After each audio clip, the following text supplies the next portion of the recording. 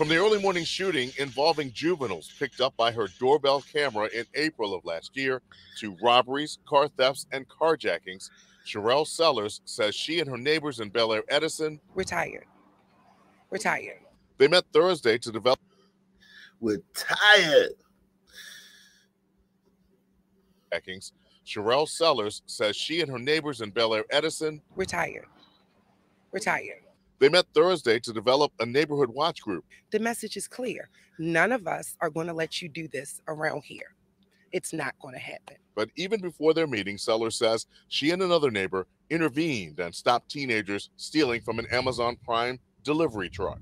We went and talked to them, you know, asked them, What are you doing? You can't do this. It's going to affect the whole street because then Amazon won't deliver here. And their response was, I don't care. She says that.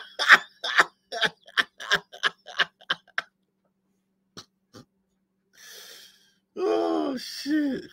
That's funny, man. This is comedy gold, man. We went and talked to them, you know, asked them. Neighbor intervened and stopped teenagers stealing from an Amazon Prime delivery truck. We went and talked to them, you know, asked them, What are you doing? You can't do this. It's going to affect the whole street because then Amazon won't deliver here. And their response was, I don't care. She says.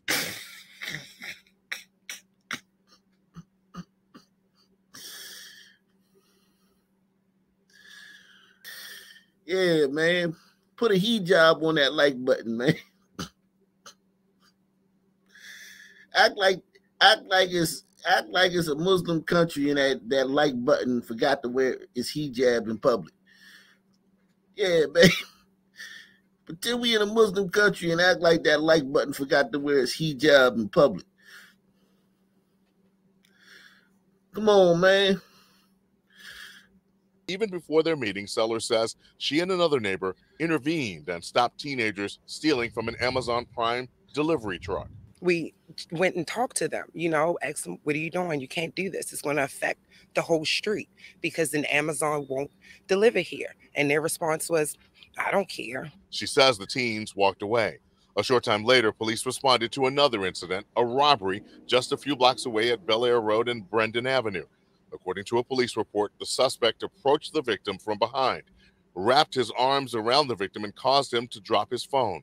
The suspect then picked up the phone and demanded the passcode. The victim initially refused, but the suspect shoved him against a vehicle and said, Do you want to die over a passcode? The victim then gave the suspect his passcode. A neighbor intervened and started yelling. The suspect ran away. I have a concern for the neighborhood. I have a concern for the people who live there, but I also have a concern for the kids that are going down this path that it's at a certain point there's no turnaround. You should you should only care about the victims, man. It's enough people caring about them kids, man. Them kids got a lot of people caring about them. You fucking shit stain. You. The suspect ran away. I have a concern for the neighborhood. I have a concern for the people who live there, but I also have a concern for the kids that are going down this path that it's at a certain point there's no turnaround. Eric James tells 11 News he was assaulted at his home. And he punched me in the face.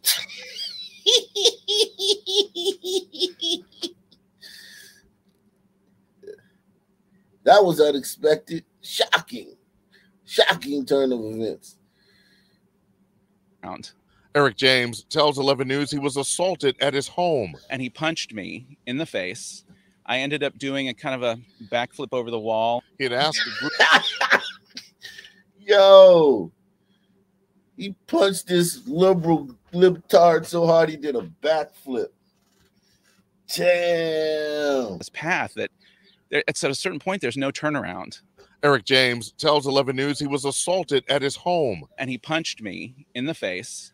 I ended up doing a kind of a backflip over the wall. He had asked a group of juveniles to quiet down and retreated back into his house as the attack began. Oh, shit. This gets better and better. He asked a group of juveniles to quiet down. Like, come on, man. You gotta know better than that, man. Come on, bro. You gotta know better than that, man. This guy must have um he must have missed that episode of Ak Nation, man. I'm sure he catches all the episodes, but he he just missed it. Maybe he was um out of maybe his internet was down that night, and he missed the show, man. When I was going over this, man, you never do that, man. After I'd shut the door, locked the door, uh, and proceeded to kick the door in, kick through the deadbolt, um, and was reaching inside the door, swinging at me, trying to punch me and punch me. Yo, that was terrifying. I ain't gonna lie. This is like think about the movie Scream or any scary movie you ever heard. Think about any scary movie or any horror movie. This is literally every horror movie. This is literally what he just described. What he just described is like every horror movie. Like that scene in a horror movie, you know that scene. At his home. And he punched me in the face. I ended up doing a kind of a backflip over the wall. He had asked a group of juveniles to quiet down and retreated back into his house as the attack began. After I'd shut the door, locked the door, uh, and proceeded to kick the door in, kick through the deadbolts, um, and was reaching inside the door, swinging at me, trying to punch me and punch me. James is helping to set up the neighborhood watch. The best way to get things taken care of is to let them know that we're watching. Neighborhood Watch organizers tell us they are working with Eastern District police officers. Reporting from Belair-Edison, Barry Sims, WBAL TV, 11.